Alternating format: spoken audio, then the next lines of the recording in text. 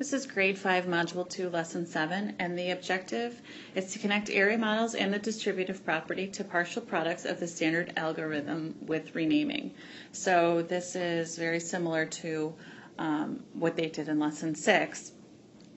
So the example I'm going to use is from homework number 1, letter A. And the problem is 273 times 346. Again, we're going to do this using the area model and the standard algorithm. And I'll show you the arrows again just to see the connection between the two. So we have 200 and 273. And when I decompose a number, I have 273. And I'm decomposing the other number, I have 6. I have 40. And I have 300 drawing my rectangles for the area model. Okay. I'm going to go ahead and find the partial products for each of these.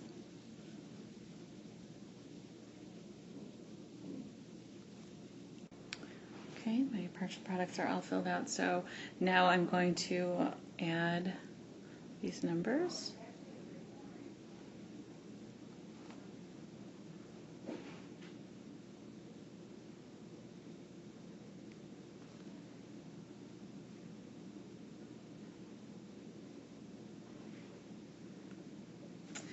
And some of the students have been getting into the habit of adding these numbers here and finding the total, and that is perfectly acceptable. Um, I just want to transition over to the standard algorithm by drawing my arrows over. I'm going to rewrite my numbers again. So 8, 6, 1. Okay, and then um, I'm adding the partial products together.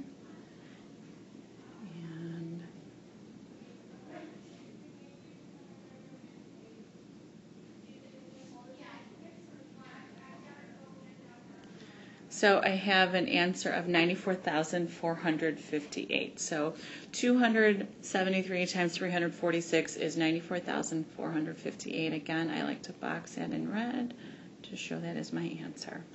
The next um, homework problem I'm going to use as, as, an example is problem number five. Uh, number five from the homework says, one Saturday at the farmer's market, each of the 94 vendors made 100, uh, $502 in profit. How much profit did all vendors make that Saturday? So I'm going to start with my target sentence. And the target sentence says all vendors made blank dollars that Saturday. Um, we want the students to get in the habit of doing the target sentence so that they don't forget what they're looking for.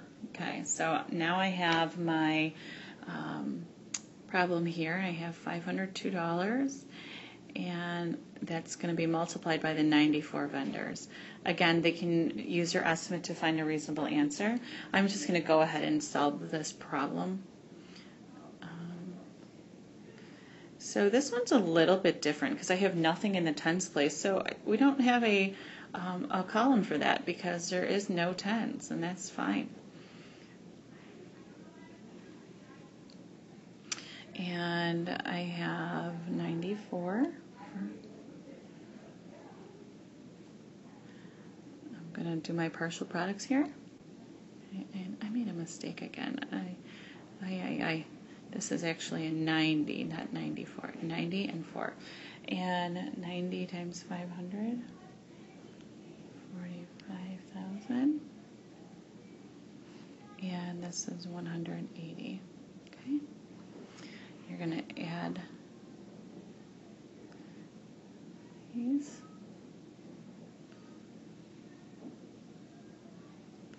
Okay, and doing the standard algorithm, which eventually the students will move beyond the area model and they'll just be able to do the standard algorithm. But again, the area model gives them a deeper understanding of what these partial products really are.